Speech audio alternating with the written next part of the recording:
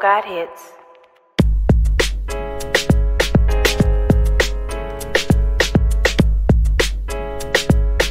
Hey everyone, and thank you so much for joining me today on my YouTube channel. I'm your girl, Robin Nicole, the inspiration specialist, and I'm wired to inspire you to live your authentic purpose. So, guys, today I want to talk to you about believing in places where you have been rejected. It's important for me to share this message because I know the last couple years, almost 3 years now, just at large for majority of the world have been very hard. We have had a lot of pressure. We faced a lot of very jarring and unexpected situations.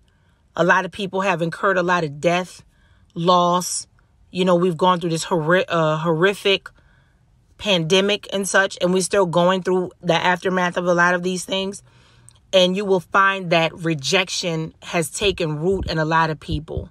We've noticed that a lot of people have been questioning their lives and their existence because of all of the things that are happening outside of us. But I'm talking about not only those things happening, but now many have been grappling with things on the inside.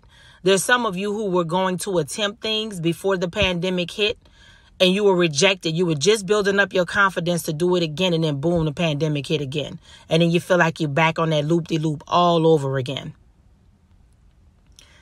But what you have to understand is the door is opening back up for you to begin to believe in your broken places, believe in your places of rejection. It is not your lot in life to be a winner at a losing game.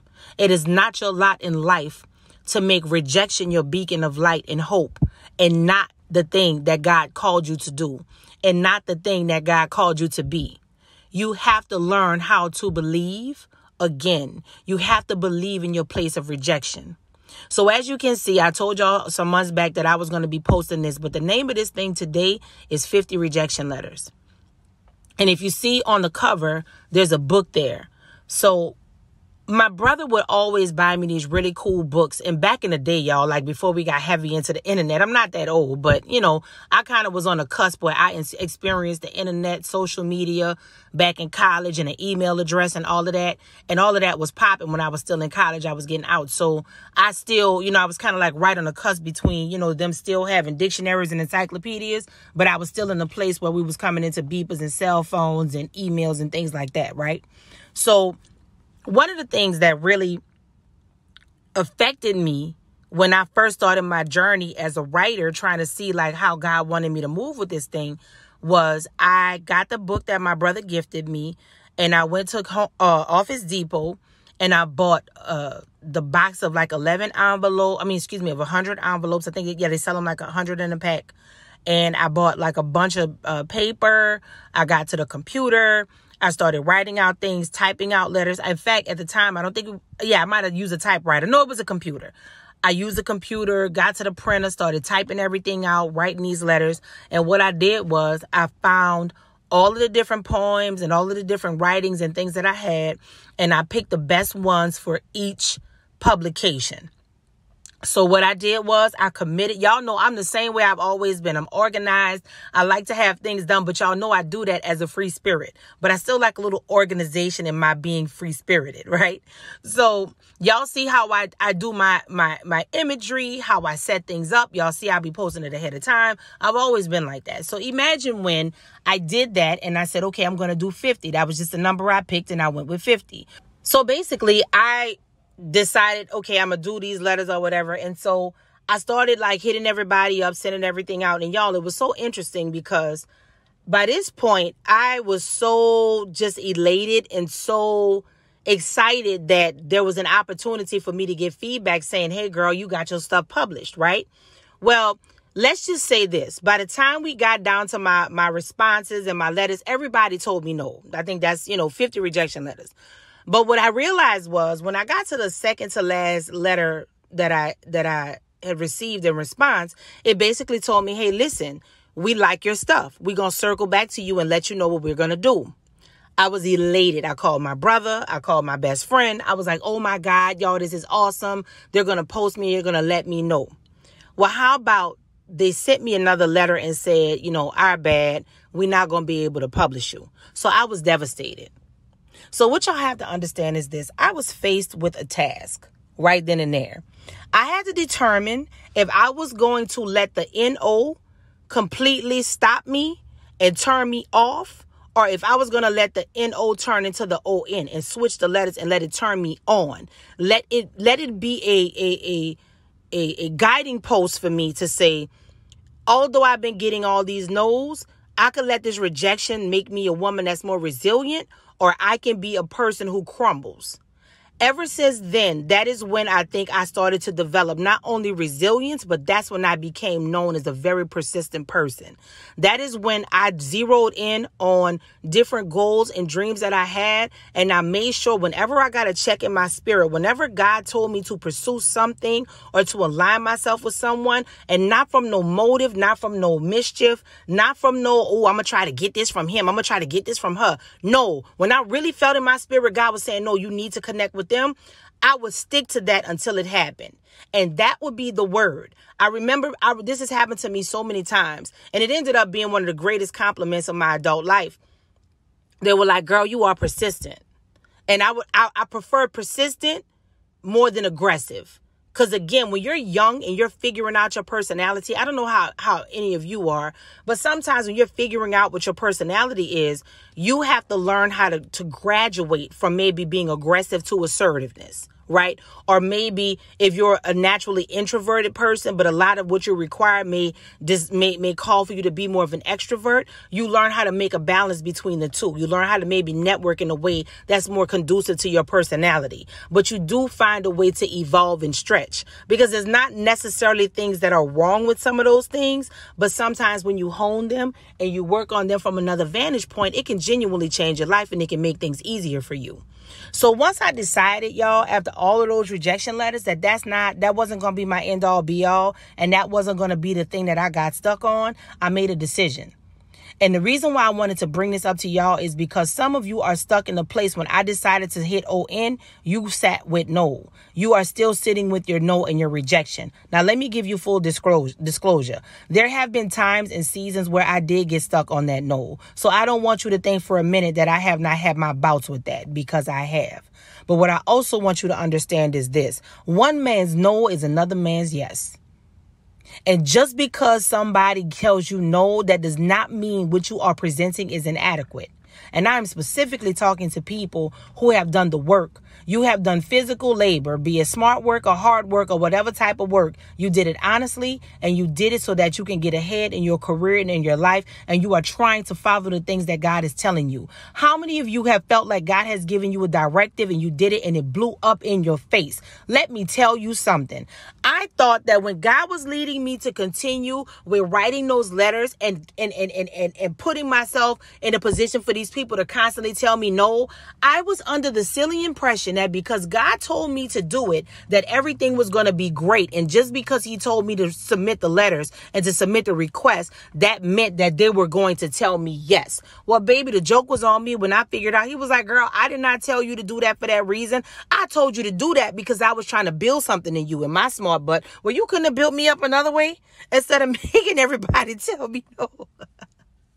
it was so interesting to be in that space and I was so pure in my intention. You know what I'm saying? Like I, I was purely trying to approach that thing from a level of, oh yeah, I got this. And again, these are the types of spaces where God will work on your temperament. He will work on your ego. He will work on your humility. He will work on things in you to try to get you together. Y'all thought that was it? We I'm gonna do a whole other video on my songwriting journey. The no's and the rejection I got with that. Y'all just don't understand. God had to literally plant people in my circle and in my life who, when I would call crying saying, I can't believe they did that to me, and they would just go crazy, like, no, like, that ain't what that is, and you don't need to worry about that. It's like God knew what He was doing when He was developing me in that area. And the reason why I felt led to share this with some of you is because I believe you are going through the same thing. Do not get stuck in losing your belief because you are mounted and you are you are posted up on rejection. Get yourself off of that mount. Get yourself out of that space. rejection is not your portion. I hear this all the time. Rejection is your redirection. That might be true. But guess what rejection is also? Rejection is also an indicator that you are human being, but it's also an indicator that guess what? You have put yourself in a position that a lot of people don't put themselves in. You took a chance, man.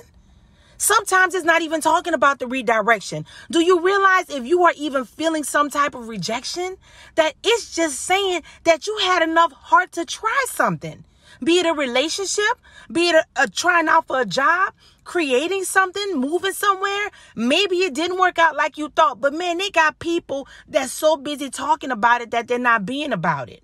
They got they have people out here right now who wish that they could do what you're doing. They got people right now looking at you saying, "Ha ha ha, she got rejected. Ha ha ha, that blew up in her face. That blew up in his face." But they don't even have what it takes to go ahead and at least try it.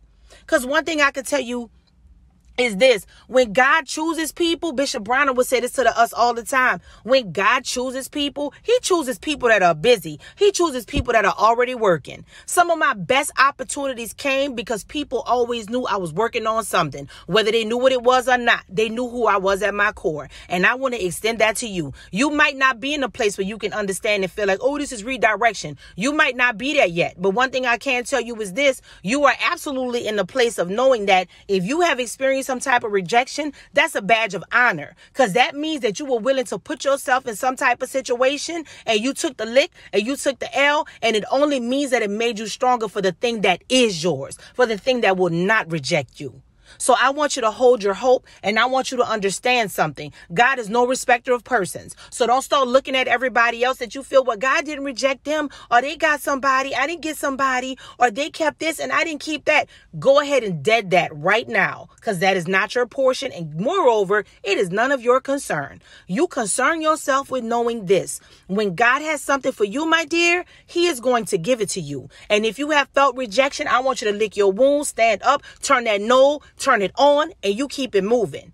Because rejection is not just about redirection, but it is a sign of strength and it is a sign that you were willing to throw yourself in that water. Even if you wasn't the best swimmer, you threw yourself in that water and it don't matter what happened, you kept working, you kept trying to figure it out. And maybe it did not work out to your benefit, but guess what? At least you could say it's a badge of honor. They got people that didn't even try what I did. At least I tried. It hurt my feelings. I still might be be building up from it now, but maybe I got divorced, but I'm gonna try love again. Maybe those person those people cut me off, but God gonna bring me some new people. Maybe I tried to get the job and they fired me, but guess what? I know I got the chops. Maybe I wanted that song to hit, but no, they didn't like it. Somebody gonna like the song. Y'all follow what I'm saying?